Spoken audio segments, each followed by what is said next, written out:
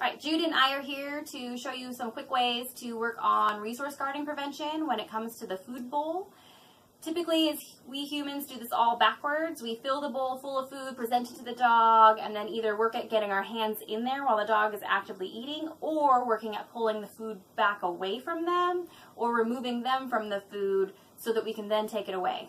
And that doesn't really build trust, right? So if I'm out with my friends and I have a plate of fries and my friend starts munching on my fries without asking, I might get a little irritated depending on how hangry I am at that moment, right? Because they didn't ask and maybe I wasn't planning on sharing because I was starving. That's the same principle with dogs, okay? Um, only the communication isn't really there to necessarily ask. And so that's not a way that we build trust. That's a way that we kind of remove the trust from the relationship with the food bowl. So the way that we're going to build trust is I'm going to give Jude an empty food bowl. And this is generally with puppies the only time I recommend feeding out of a food bowl is during this kind of activity. And we like to change the bowl or the you know the bowl type often just so because they all have different things.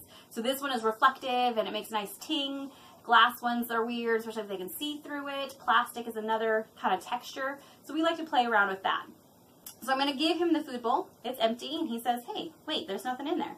So what I'm going to do is I'm going to drop one piece of dog food in there at a time and let him take it out. And as you can see, his head popped right back up at me like, okay, where's my next one? And this is the reaction that I want from my dog when my hand goes towards the food bowl. I want them to see that my hand is bringing the food, not taking it away.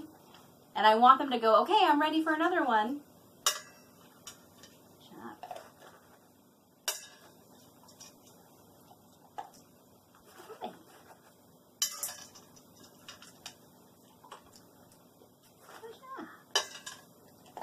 So this just builds positive associations for him, me, and the food bowl.